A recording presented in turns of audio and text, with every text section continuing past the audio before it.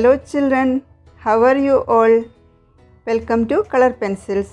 Today our topic is a short note on Onam festival. Let us start. Onam is the official festival of Keralites.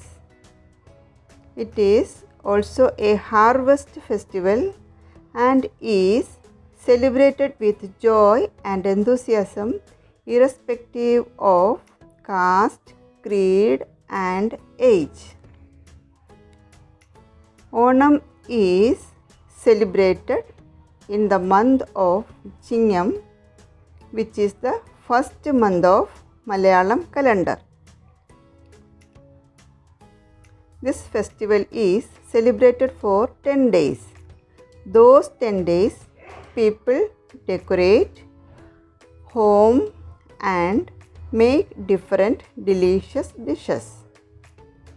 The story behind Onam is that the king Mahabali is coming to see the people every year. People make floral decoration like Pookalam in front of their main gate.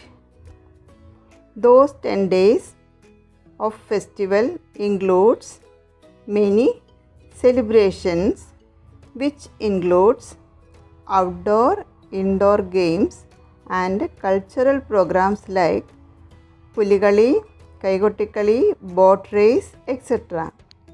Keralites all over the world celebrate this festival with great enthusiasm.